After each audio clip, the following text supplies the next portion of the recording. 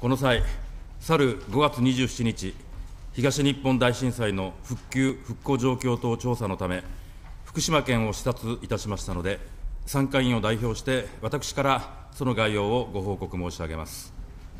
当日の参加員は、理事赤間次郎君、富樫博之君、西村明宏君、藤原隆君、金子恵美君、下條光君、高木道夫君、委員上杉健太郎君、高橋千鶴子君、森夏江君、そして私、古川義久の11名であります。それでは、調査の概要についてご報告申し上げます。まず、南相馬市に入り、門馬市長より市の復興状況について説明を聴取し、小高交流センターを視察しました。同センターは多世代交流を広げ、失われた地域コミュニティを再構築する等のため、本年1月に開館をした小高区復興拠点施設であります。南相馬市では、福島ロボットテストフィールドを活用し、研究者や若者を呼び込むための取り組みを進めていくとのことでした。次いで、除染により生じた土壌等が保管されている市内で最大規模の面積の親ほか仮置き場を視察しました。元は水田であった広大な土地に除去土壌等の入った大量のフレコンバッグが積まれておりましたが、その搬出後は現状回復することになっている跡地の扱いについて検討していくとのことでした。次に浪江町に入り、車中にて吉田町長より町の復興状況について説明を聴取しました。浪江町は平成29年3月に帰還困難区域を除き避難指示が解除されました。今後、駅前の中心市街地をいかに活性化させていくのかが課題であるとのことでした。次いで、福島水素エネルギー研究フィールドを視察しました。再生可能エネルギーから水素を製造する世界最大級の装置が備えられ、令和2年度中の実証運用が予定されており、1日の水素製造量は水素発電として一般家庭の約150世帯の1か月分の電力を供給できるとのことでした。その後、双葉町に入り、車中にて金田副町長より町の復興状況について説明を聴取しました。双葉町はいまだ全町民が避難を余儀なくされておりますが、JR 常磐線全線開通に合わせ、令和2年3月末頃までに、町の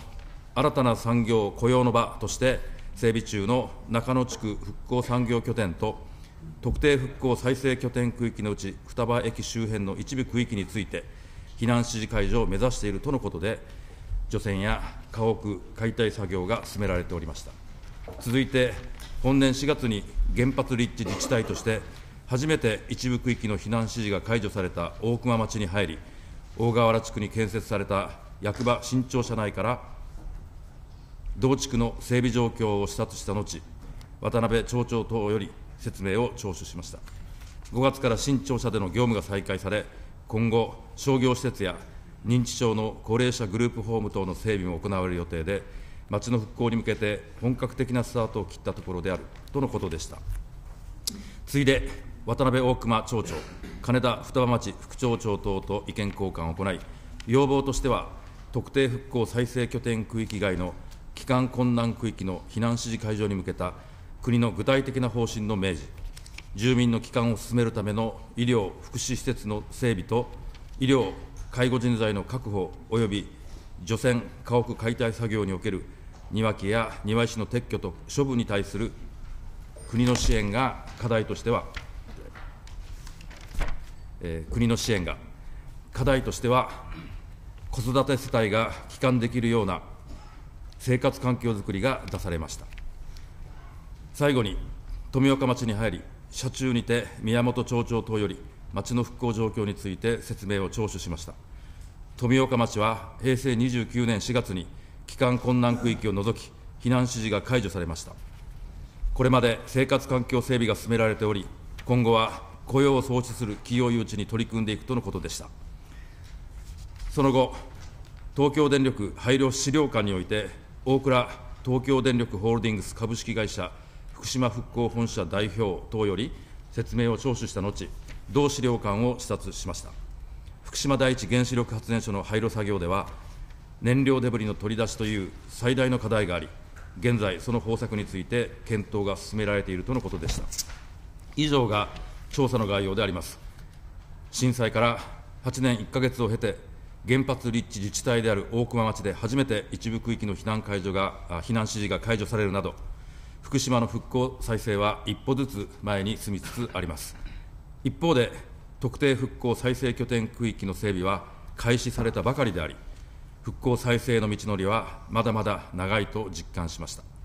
福島の復興再生のためには、復興創生期間後も国が前面に立って取り組むことが不可欠であり、党特別委員会においても、被災地へ足を運び、真摯に被災者の声に耳を傾け、政府に対し、実情を踏まえたきめ細やかな復興施策の推進を働きかけていくとの決意を新たにした次第であります。最後になりましたが、今回の調査にご協力いただきました多くの皆様に、心から御礼を申し上げまして、報告とさせていただきます。この際、お諮りいたします。本件調査のため、本日、政府参考人として、内閣官房内閣審議官、十時健二君、内閣府大臣官房審議官、米沢武君、復興庁統括官、末宗哲郎君、復興庁統括官、東清君、復興庁統括官、小山悟君、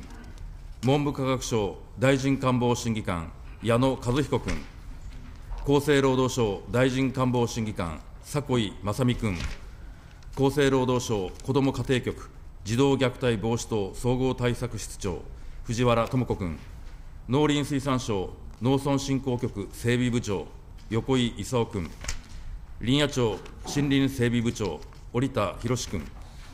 経済産業省大臣官房原子力事故災害対処審議官、新川達也君、経済産業省大臣官房審議官、米田健三君、資源エネルギー庁長官官房資源エネルギー政策統括調整官、小沢則明君、資源エネルギー庁省エネルギー新エネルギー部長、松山康弘君、資源エネルギー庁電力ガス事業部長、村瀬義文君、国土交通省大臣官房審議官、寺田義道君、環境省環境再生資源循環局次長、森山誠二君、原子力規制庁長官官房緊急事態対策官、山形博君および原子力規制庁原子力規制部長、山田智穂君の出席を求め、説明を聴取いたしたいと存じますが、ご異議ありませんか？ご異議なしと認めます。よってそのように決しました。質疑の申し出がありますので、順次これを許します。上杉